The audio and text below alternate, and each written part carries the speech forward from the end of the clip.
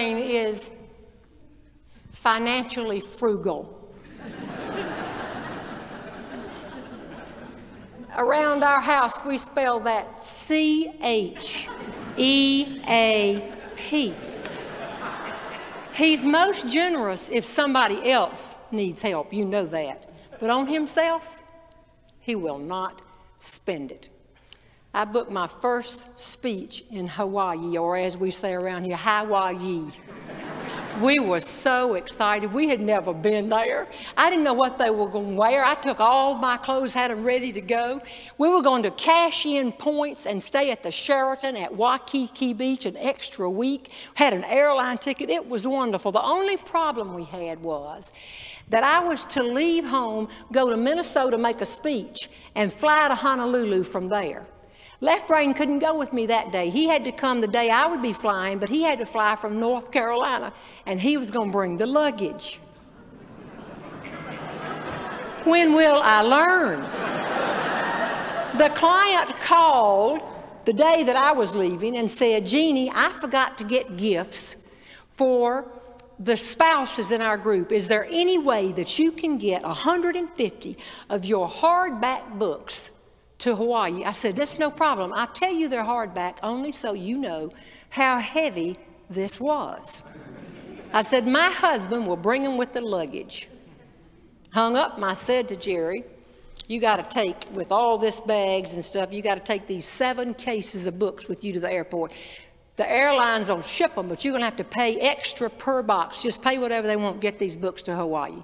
He said, Wait a minute, wait a minute, pay whatever they want. There's got to be a better way than that. And you understand with left brain that a better way is synonymous with a cheaper way. He worked on his better way all afternoon. He went up into the attic, got six of the biggest suitcases you have ever seen. I didn't even know they were up there, no wheels on them. One of them was a trunk I took to Auburn with me as a freshman. He took the books out of carefully packaged cases, wrapped each book individually in t shirts, shorts, underwear, shirts, packed all these bags back. And when he finished, all of our clothes were wadded up around these 150 books.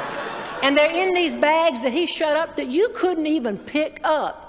I just looked at him and I said, Well, I, I wouldn't have done it that way, but I'll, I'll see you in Hawaii. He said, Wait a minute. You're the one that travels all the time. How am I going to get these bags from the airport to the Sheraton at Waikiki Beach.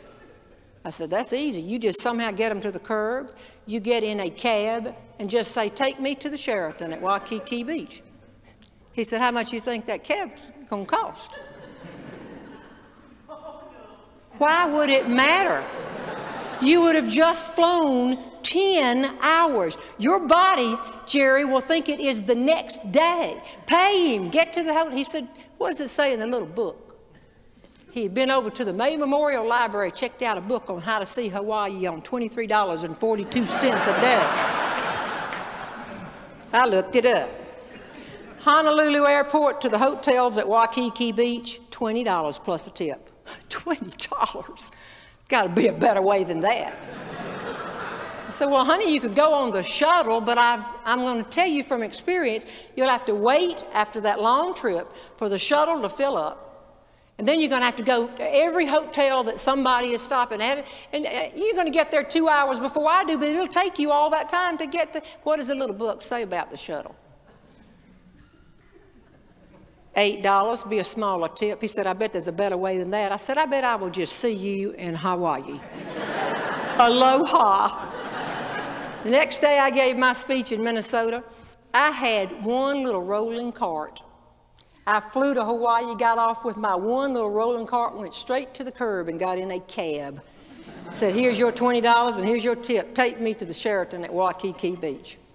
I was checking in and I just asked the man behind the desk one question. And you would have thought I had taken a pail of ice water and thrown it in his face. All I said was, Has my husband checked in yet? He backed up and raised his voice, I thought for the benefit of the bellman standing over there, and he turned into an Elvis announcer. Mr. Robertson is in the building. I thought that sounded a little bit strange, but I went up and I unlocked the door, and there stood Jerry, dripping wet. Bags everywhere, golf clubs all over the room. He said, I just got here. Aloha.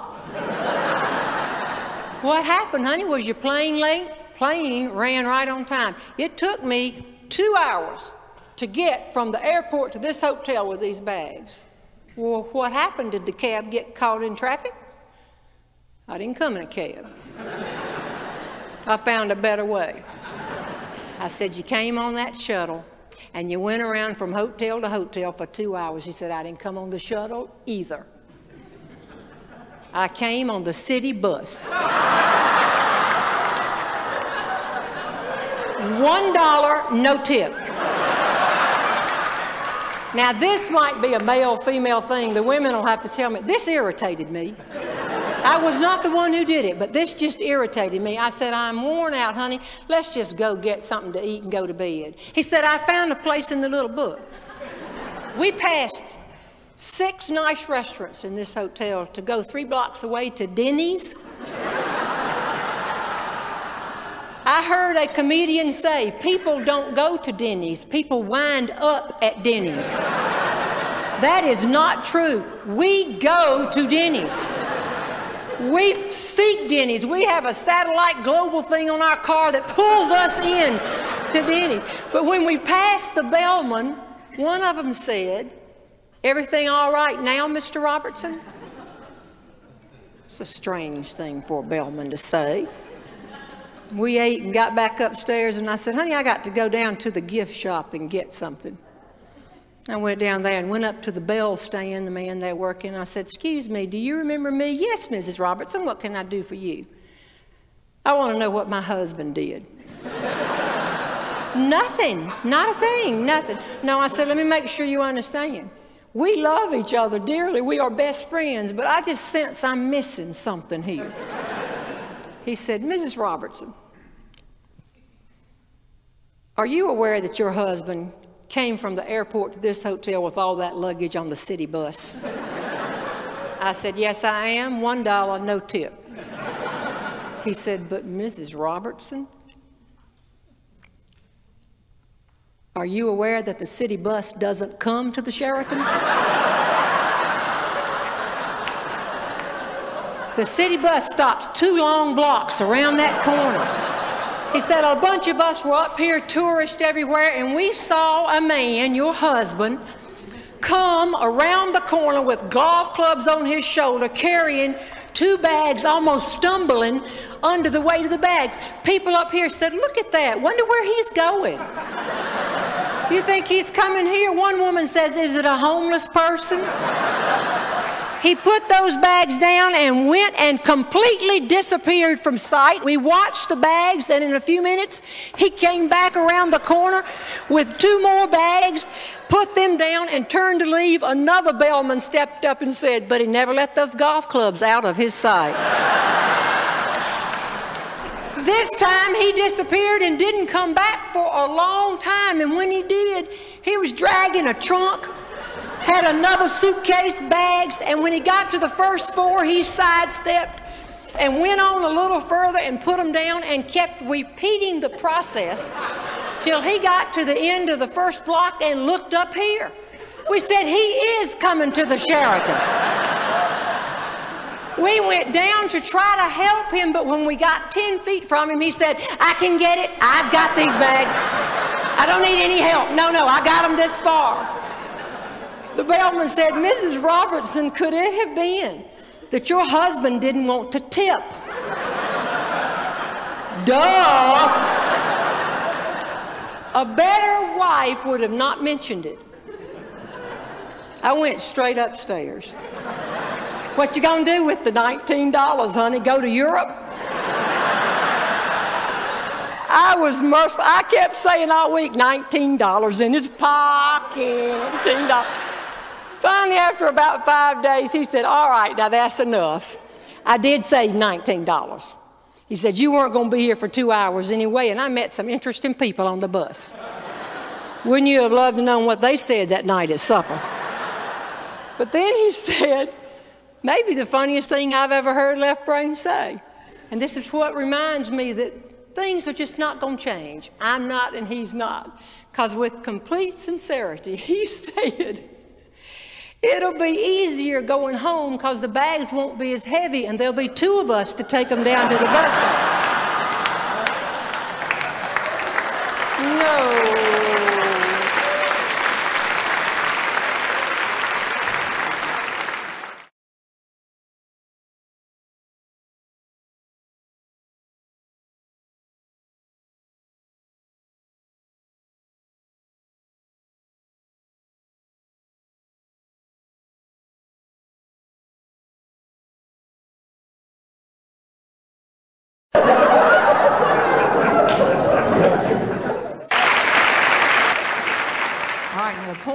Is to look for the humor around us every day.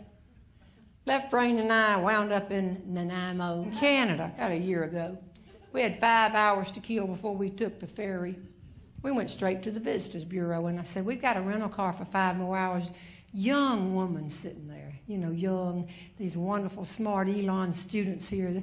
They know I don't really am talking about them. This was another caliber person here. She's sitting right there, and I said, What would you suggest that we do for five hours? And she said, Well, pulled out some flyers and some brochures, and she said, Oh, I know what. Pointed to the map and said, If you'll go back to the the terminal ferry area right down the street and go south for thir- 13 kilometers, you'll come to the Nanaimo River, named after the town. I said, All right. She said, And just go a little further and you'll find the Nanaimo man made bridge. I said, Named after the town and the river. She said, That's right. and if you'll go out there right now, you can bungee jump.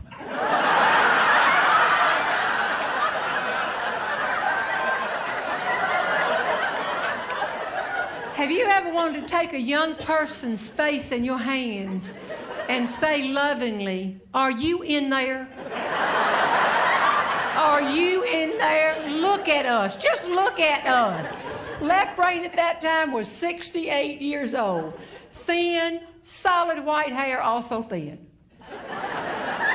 Was 62 years old, not as thin as I once was, and my hair is Clairol Tweed number 14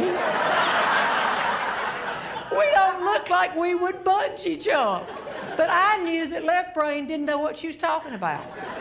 Because when you've been married a long time, you know who the other one knows, what they know. I think we know those, but you don't know those people. I'm telling you that. You, don't, you don't know those people. So I said, "Do you know what she's talking about?" Left brain said, "I'm not. I'm not sure I do. What she wants us to do, honey, go out to that to that river and get on that bridge and put on some kind of boots with ropes and things on them. And then when we're secure, we go to the edge of that bridge and we hurl our body off that and we hang upside down. She said 140 feet. Thank you. We're going to drop 140 feet and we're going to hang there until somebody reels us up.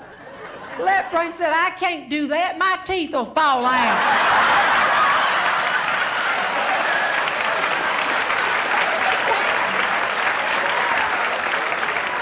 this young person, well intended, said, Oh, no, sir. There's somebody up on the bridge, and before you jump, they'll always have the people take out their hearing aids and their teeth and their.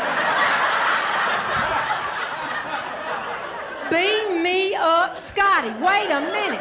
Just wait a minute. How many people do you have that come out there and before they jump, first have to put their teeth in their hearing aid? What do you say? Put your three prong walker against a tree? Well, she was almost defensive, and she because we were laughing, and she said, "Well, you get your money's worth because you do a whole lot more than just hang there." She said, "Because when you pop that bungee cord springs you way over here and then over here. And it's like a pendulum. You go back. It's, it's a ride, she said, until finally you stop so you get your money's worth. Left brain said, I'll tell you what, I, I don't want to do it, honey, but we got to go out there and see it. And when she heard see it, her eyes got as big as plates. She said, Oh, oh, if you just want to see it, you should come back the weekend after Valentine's Day. That's when they raise money for charities and people jump in the nude.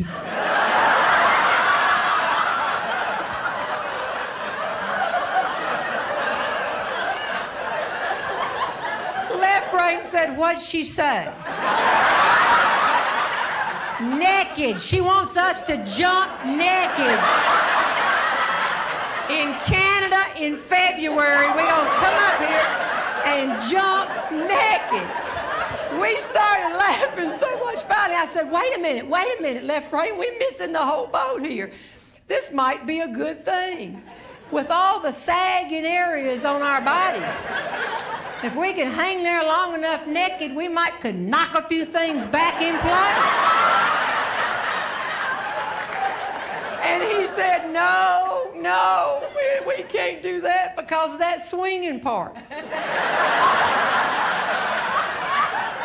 With all the sagging areas on our body, we're liable to start rolling and slap ourselves silly. we, we could barely get out of the building we got outside and left Brain just as serious. Oh, honey, I love you so much, but you were just as serious. She said, I'll tell you, I do want to ride out there and see it, but I'll guarantee you, you never gonna get me to bungee jump.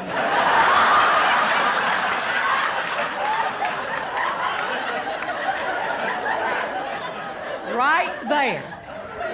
Right there. It's where I laughed so hard my water broke and I wasn't even pregnant.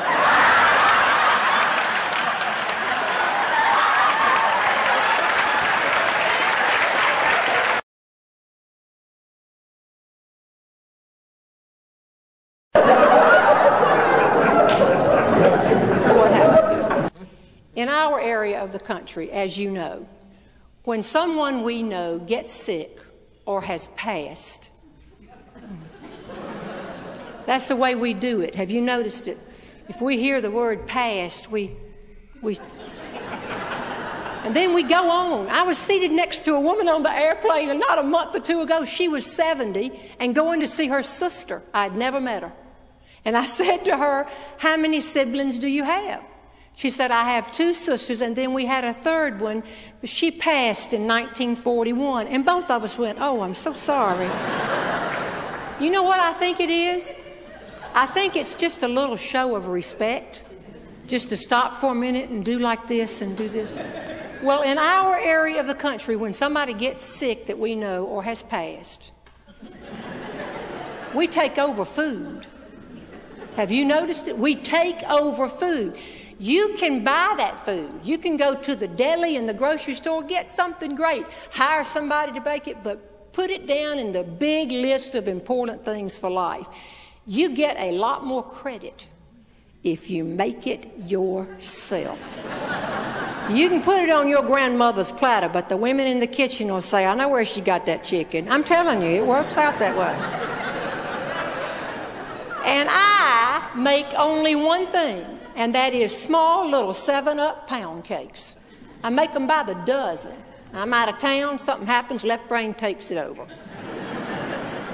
and not long ago, got up one morning and heard that a friend of ours was sick and went to my freezer and my pound cakes were depleted.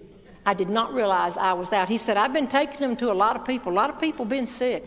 I said, Well, I didn't know they were gone. I got to get a pound cake made before I leave town. Honey, go to the grocery store and get my ingredients. He said, I'm trying to get to badminton.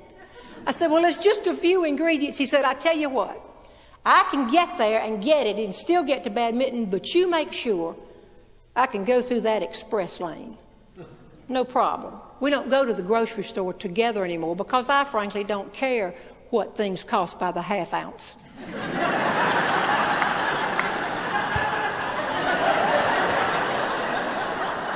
So I made up the list and he left. Well, y'all, I waited. I waited. He didn't come back. I thought, he's gone on to badminton. And I thought, no, where could he be? I was getting ready to call the grocery store and I heard the car pull in. He came huffing up the steps, had two sacks and more sacks hanging on his arms. He just glared at me, started putting stuff down, and said, I'll get some more out of the car. I looked in the first sack, there was a pound of margarine and two gigantic bottles of vanilla flavoring, doling out a half teaspoon a time. It would take forever to get rid of these two gigantic bottles of vanilla flavor. And in the next sack were three dozen eggs. I said, they had a special. I'll tell you, they have had a special. I didn't need but five eggs, and I just said a dozen. In the next sack was a big old thing of shortening, two of them. And in the next sack, two more. 12 pounds of lard. we could fry fish for everybody in here. But in that fourth sack, I found my list. And I'd like to step out of the kitchen just a minute to tell you something. Left Brain is a smart man.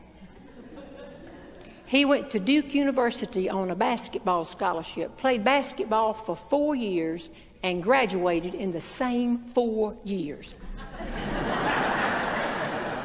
then he went to Carolina and got a master's degree and a doctorate. He has over degreed himself. but I don't care how many pieces of paper you frame and put on the wall, if you have a left brain, it's going to kick in on you. And it kicked in on him about the third aisle of that grocery store. I stepped back in the kitchen. I found my list, and in my eagerness to make sure that he could get through the express lane, for probably the first time in my life, I numbered the items.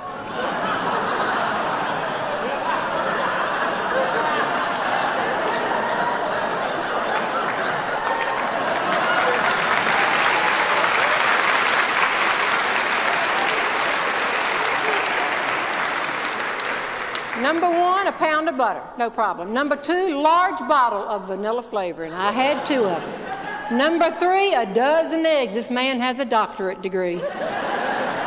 Number four, a big, big tub thing of lard. I could hear him coming back. I looked down at number five. Said a five pound bag of sugar. I knew he was coming in with 25 pounds of sugar. And number six was a five pound bag of all purpose flour, 30 pounds of flour. Now, I believe in accepting things you can't change, but I also believe in hounding things sometimes. And then sometime I let it ride. And this time, y'all would have been proud of me. I let it ride. I put that list behind my back. He came in again, plopping down sugar and flour all over. Bam, bam, bam, bam. Gets it all down there and says, one more trip. I went back to my list and looked, and number seven was a bottle of 7 Up. I don't want that big bottle because if you're going to make one cake and you just use it, it'll be stale by the time I get back. I told him I wanted a six pack of those medium sized ones hanging.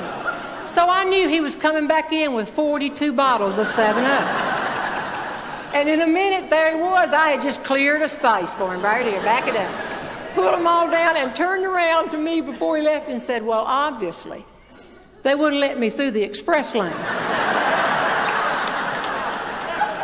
but you know what? He got all the way out in the hall and came back and he said, For the record, I figured out what I had done. But by then she was ringing up the 7 Up. and all these people behind me in line were laughing. And I got to get to badminton. Don't tell anybody. I said, I won't. Three days later, I went to the grocery store, and a woman that was checking me out says, I think I checked out your husband a few days ago. I said, I'm sure you could have. She said, That was an interesting order. I said, Let me explain to you. And she was from this area too, and this proves it because I said, Anytime a friend of ours gets sick or has passed, and both of us went, said, I make a pound cakes and we take it over. This woman said to me, Is there an epidemic?